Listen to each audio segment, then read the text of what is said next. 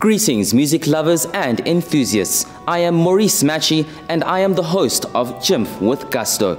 The Gusto project will be giving you special coverage of the annual Johannesburg International Mozart Festival. We at the Gusto project give a platform to established artists so that they are able to share their passion for the music and entertainment industry to the world.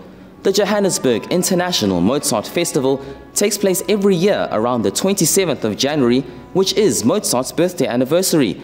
It's a festival of different shows and concerts that happen over the space of two weeks, and it provides a unique combination of classical music performances based on a central theme. This year, the theme focuses on folk music and its influences on classical music. The Gusto project will be showcasing the Johannesburg International Mozart Festival by giving you special exclusive coverage as and when it happens. Stay up to date with the festival by visiting the Johannesburg International Mozart Festival website www.join-mozart-festival.org. Also, follow the JIMF with Gusto special coverage by following us on social media on Twitter at Gusto underscore project or the hashtag JIMF with Gusto, on Facebook, The Gusto Project, and also subscribe to our YouTube channel, The Gusto Project, where you can watch the features that we will be posting online.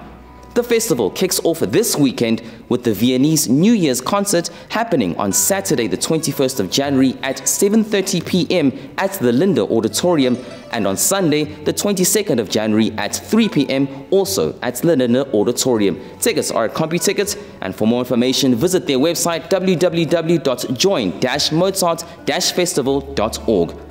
Next weekend is the big opening concert entitled A Sea Point Story happening at the Wits Theatre on the 27th of January at 8 p.m. Don't forget to subscribe to our YouTube channel, The Gusto Project, and follow us on Twitter at Gusto underscore project and also use the hashtag JIMF with Gusto for live feeds of the special coverage of the festival as it happens.